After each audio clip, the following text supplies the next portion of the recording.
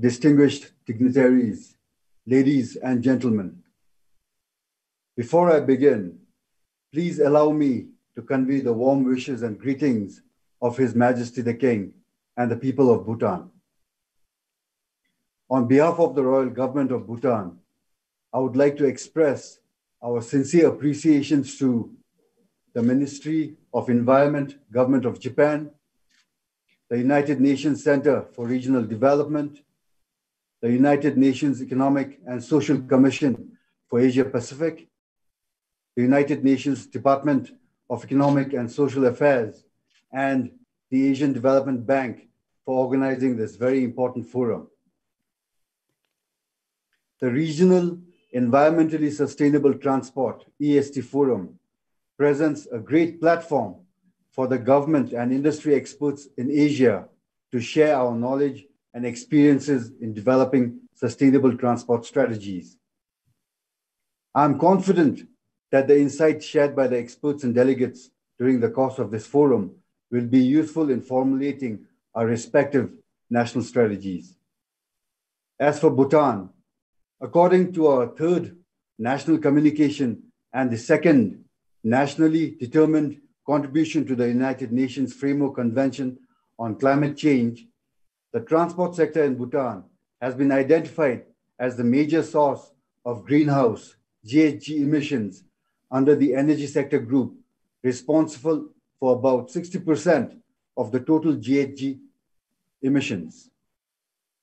The primary cause for this can be attributed to the growing urban population and the absence of adequate public transport services.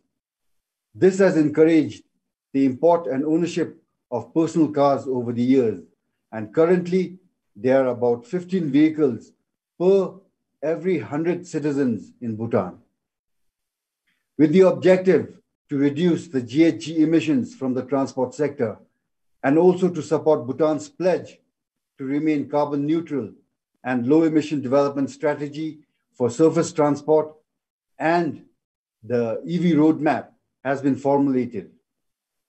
The Low Emission Development Strategy, LEDS, for Surface Transport 2021 to 2050 is a national strategy document which is aimed at reducing the GHG emissions from the transport sector in keeping with the Paris Agreement.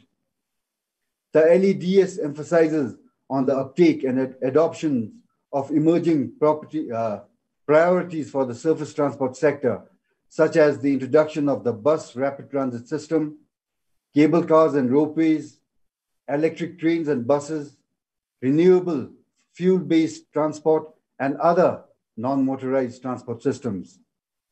Additionally, we are also implementing a low-emission sustainable urban transport system project with the financial support from the Global Environment Facility to promote electric vehicle uptake in the country.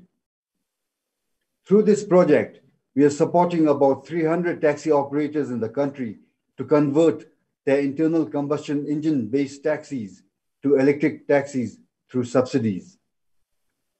Furthermore, the government is also extending a 70% loan scheme through the financial institutions and allotting a unique green registration plate to all electric vehicles registered in the country. Likewise, relevant efforts are also being made to establish ch charging stations across the country to facilitate the penetration and uptake of EVs in Bhutan. Despite our best efforts, we still face a lot of challenges, such as securing investment and technological knowledge transfer to promote environmentally friendly sustainable transport in the country. For this, we would like to seek the support of this regional gathering. While concluding, let me reiterate the significance we place on regional cooperation and development. And for this, it is my honor to convey our support to the Aichi 2030 declaration and making uh, transport in Asia sustainable.